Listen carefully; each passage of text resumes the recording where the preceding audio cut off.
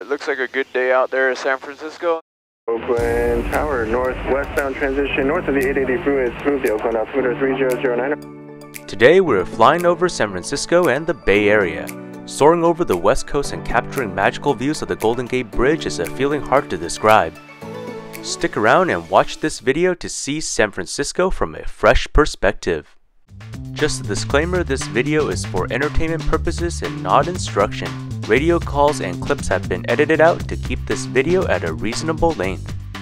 System low pressure, we got low pressure right there. Cold fronts coming in. San Francisco next. Winds are 230 8 knots, 10 statute miles. Scattered 4,100, broken 5,500. So we know where that ceiling is.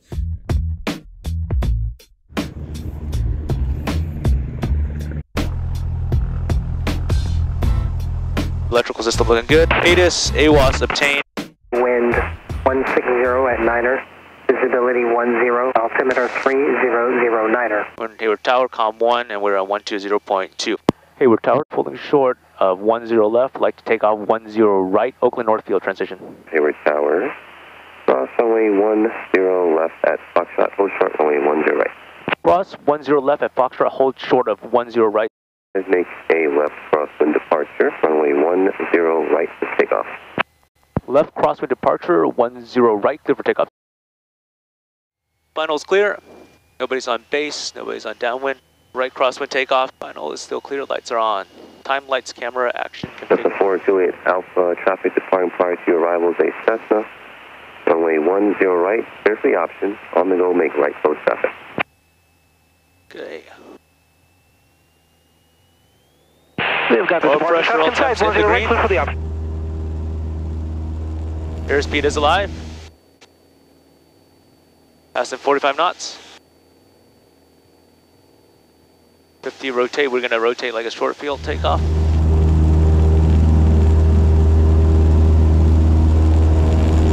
Turn it into the wind to maximize performance. 1200 feet, positive rate, we go flaps up. We look for VY of 74 knots. We're clear for left crosswind departure until we get Oakland handoff. Left crosswind turn.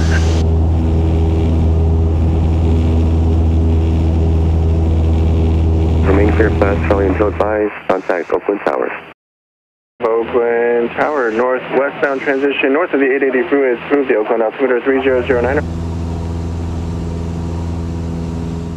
Alright, looks like a good day out there in San Francisco. Gonna level off now, slowly bring the nose down. That's Oakland International. Oakland International is a Class Charlie airport. They have great GA support and most of all, a gateway to Europe and a lot of domestic US destinations without the drama of San Francisco's busy, long security lines. In front of us is the Oakland Coliseum, home to the Oakland A's and previously the Warriors and Oakland Raiders. 10 miles north of Hayward Airport, we fly a beam Alameda Island, where they filmed the Mythbusters TV show and home to the US Coast Guard station and the USS Hornet. We approach Oakland downtown from the south. Oakland is the anchor of the East Bay and home to half a million people and many good restaurants and cuisines. The major urban area is an up and coming neighborhood with cozy areas fetching over $5 million for a house in the Piedmont Hills area. If you're in Oakland, be sure to explore Lake Merritt as well as the historic Chinatown with a lot of great bakeries and restaurants. In our flyby, we can easily see Kaiser Permanente's headquarters and Pandora's HQ. In this right hand orbit, we get a closer view of Lake Merritt and the adjacent neighborhood, as well as Interstate 580 heading north and south, just walking distance from downtown Oakland.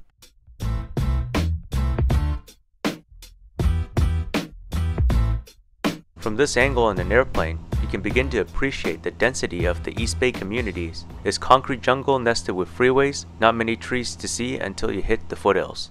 Headed north to Berkeley, we see a police helicopter pass a thousand feet below us. The city of Berkeley and Berkeley campus itself with the Campanile and Berkeley Arena tucked under the foothills. Following Interstate 80 north, we arrive at the city of Richmond and the Richmond refineries off the side of our right wingtip. Chevron paints the refinery tanks the same color as California's dry grass, half heartedly trying to blend in with the landscape. Home to the Rosie the Riveter Museum. Richmond's Kaiser shipyard under her wings built over 700 ships to support World War II. We fly over the 580 Richmond Bridge into Marin County towards the town of San Anselmo and San Quentin Prison.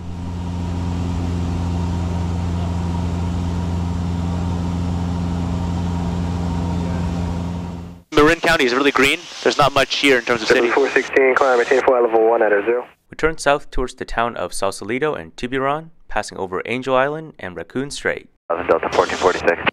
Great sailing day. There's a little fleet of. Oh yeah, there's a, little. oh hell yeah, good point out, man. I'm gonna get that on cam. There's more down below the right wheel.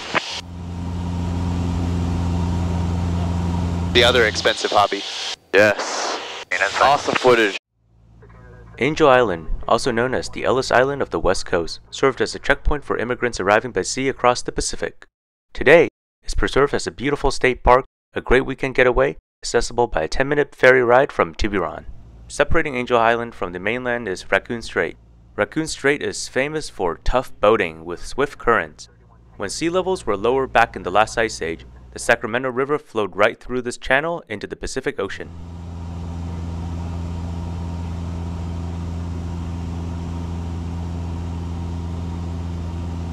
Let's head into San Francisco, look at the beautiful financial center on the left side and the Golden Gate Bridge to our right.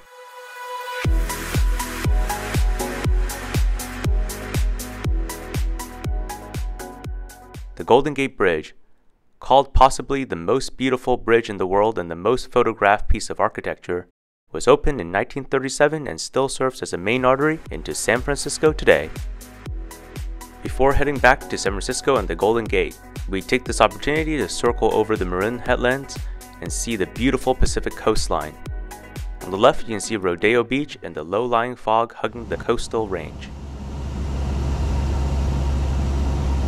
Stinson's Beach is up ahead. Stinson's. Yep. This is shark water. Oh yeah, you don't want to get caught over here in the water. Be featured on Jaws. A fisherman has a huge surprise. He hooked a great white shark. On another note, look to our left hand side, the Golden Gate Bridge. Over a mile long and 750 feet tall, the Golden Gate Bridge is just 100 foot shorter than the Transamerica Pyramid, dominating the San Francisco skyline.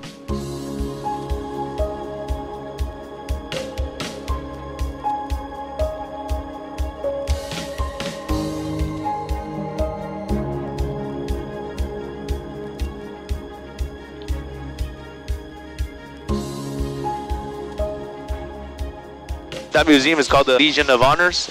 Look left, Palace of Fine Arts. Oh yeah, there it is. Yep. Oh, this is a cool angle of it too.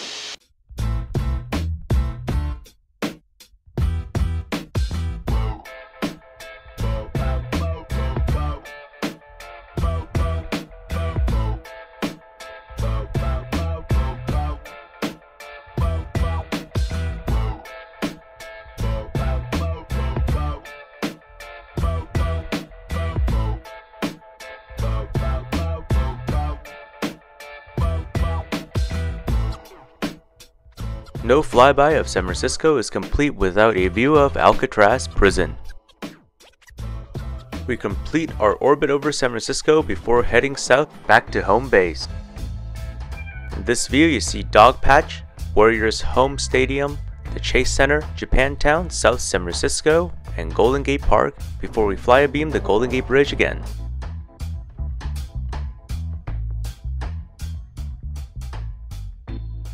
It's also really nice that you guys have so many landmarks. It makes uh, VFR navigation much Oh, yeah. easier. Like uh, even the area surrounding Austin. Once you leave Austin, you can uh, navigate just by looking out the window, but it takes a lot of planning because a lot of the landmarks aren't that distinct.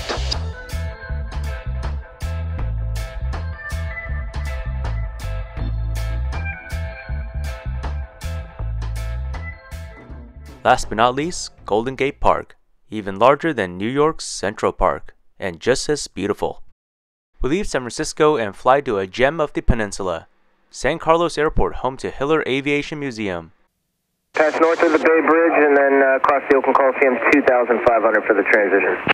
Enjoy some different scenery in the central part of the San Francisco Bay, where it becomes a tidal estuary and one of the largest wetlands in the United States. Radio service terminated. Keep squawk code contact San Carlos Tower. Good day. San Carlos Tower, Sky 1400 mid-span information, Bravo, full stop. Runway 12 cleared to land, wind uh, 200 at Niner. While the waters under the Golden Gate is over 370 feet deep, the Central Bay is shallow, averaging 12 to 15 feet in depth. Thorough cockpit, number one, clear to land. San Carlos 19 over Foxtrot, level 1100 over the cold closet. Runways made.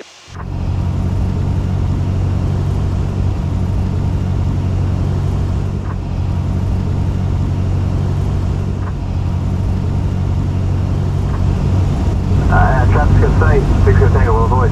So 60 Tango, thank you, and traffic short final, number 2, clear for the option.